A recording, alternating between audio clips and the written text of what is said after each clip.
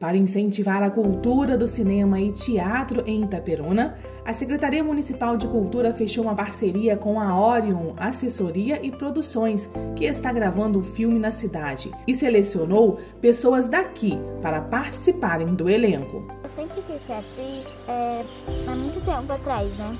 E ainda quero.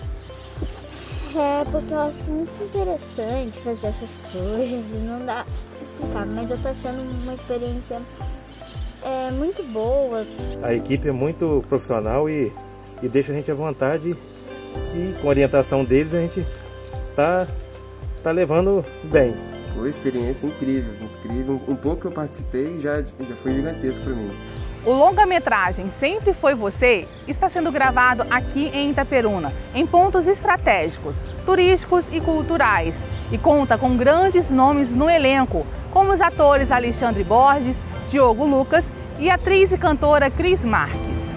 Cris Marques tem nove anos de carreira e 13 peças de teatro no currículo. Para ela, trocar essa experiência com pessoas daqui está sendo incrível.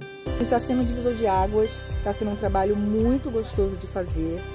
Estou amando, estou amando porque eles estão se dedicando, o trabalho está ficando lindo. Está sendo muito bom, uma experiência boa. A gente a gente acaba trabalhando e aprendendo e ensinando até para o povo que não tem experiência, né? E, e no cinema isso é, é, é, o, é o que a gente procura, é, trazer a, naturalidade justamente para a cena e que não tem experiência acaba tendo essa naturalidade. Então se a gente consegue tirar o nervosismo deles, eles ficarem tranquilos, na cena passa muito mais naturalidade. Amigos aqui sem falar, pô, a gente não tem nada.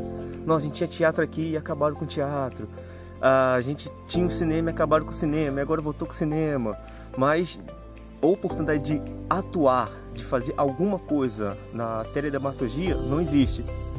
Agora, como eu estou tendo essa oportunidade, por que também não retribuir para a cidade com isso? Essa produção é muito importante, né?